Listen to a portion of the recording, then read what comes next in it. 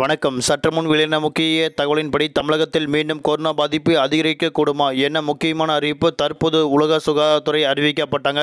என்ன முக்கிய காரணங்கள்? எந்தெந்த மாவட்டங்களில் கொரோனா பாதிப்பு அதிகமாக பரவிட்டுருக்கு? இளமை எல்லாமே இப்போ நம்ம ப்ரீஃபாக பார்த்தலாம் மறக்காமல் ஸ்கிப் பண்ண பாருங்கள் உங்களுக்கு தமிழக அரசு பற்றியும் தற்போது முழு ஒடுங்கு பற்றி முக்கியமான விவரங்கள் உடனுக்குடன் துல்லியமாக தெரிந்து கொள்ள நம்மளோட சேனலில் கீழே இருக்க இருக்க பட்டனை கிளிக் பண்ணி சப்ஸ்கிரைப் பண்ணிக்கோ பக்கத்து பெல் பட்டனை கிளிக் பண்ணிக்கோ இந்த வீடியோ உங்களுக்கு பிடிச்சிருந்தா லைக் பண்ணுங்க. இப்போ வாங்க வீடியோக்குள் பார்க்கலாம் இப்போ ரீசெண்டாக நாடு முழுவதும் பார்க்கும்போது ஒரு சில மாநிலங்களில் அதாவது நாடு முழுவதும் பார்க்கும்போது ஒரு சில மாநிலங்களில் கொரோனா பாதிப்பு சற்று அதிகரிக்க தொடங்கியுள்ளது அப்படின்னா தற்போது ஒரு முக்கிய அறிவிப்பு கொடுக்கப்பட்டாங்க. முக்கியமாக டெல்லி மகாராஷ்டிரா உத்தரப்பிரதேசம் உள்ளிட்ட மாநிலங்களில் கொரோனா பாதிப்பு அதிகமாக பரவிட்டிருக்கு அப்படின்னா தற்போது கூறப்பட்டாங்க. இப்போ ரீசெண்டாக பார்த்தீங்கன்னா முகக்கவசம் அணிவது கட்டாயமாக்கப்படும் அப்படின்னா ஒரு குறிப்பிட்ட மாநிலங்களுக்கு மட்டும்தான் அறிவிக்கப்பட்டாங்க. ஆனால் தற்போது நிலவரப்படி தமிழகத்தில் முப்பத்தெட்டு மாவட்டங்களில் பத்து மாவட்டங்களுக்கு மீண்டும் கொரோனா பாதிப்பு அதிகமாக பரவிட்டிருக்கு அப்படின்னா சொல்லப்படுறாங்க. அது எந்தெந்த அளவுக்கு அப்படின்னோ தற்போது பார்த்தலாம். தமிழகத்தில் கடந்த ஒரு மாதங்களுக்கும் மேலாக கொரோனா பாதிப்பு ஐம்பதுக்கு கீழ் பதிவாகி இருந்தது. ஆனாலும் ஒவ்வொரு நாளும் தினசரி கொரோனா பாதிப்பு ஏற்ற இறக்கத்துடன் காணப்பட்டது.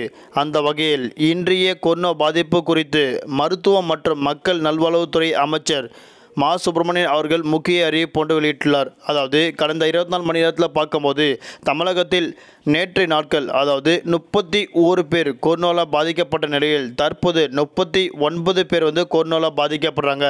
அதாவது முப்பத்தி ஓரு பேர்லேருந்து முப்பத்தி ஒன்பது பேரா கொரோனா பாதிப்பு அதிகரிக்க தொடங்கியுள்ளது அப்படின்னா தற்போது ஒரு முக்கிய அறிவிப்பு கொடுக்கப்பட்டாங்க.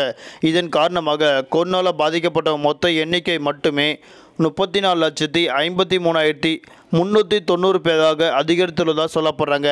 சென்னையில் மேலும் இருபத்தி ஒரு பேருக்கு கொரோனா தொற்று உறுதி செய்யப்பட்டாங்க.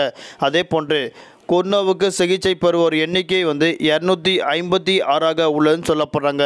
முக்கியமாக இருபத்தி மூணு பேர் தொற்றில் இருந்து குணமடைந்துள்ளனர். இதன் மூலம் கொரோனா தொற்றிலிருந்து குணமடைந்தோர் எண்ணிக்கை முப்பத்தி நாலு லட்சத்தி பாஞ்சாயிரத்தி நூற்றி ஒன்பதாக உயர்ந்துள்ளதுன்னு சொல்லப்படுறாங்க.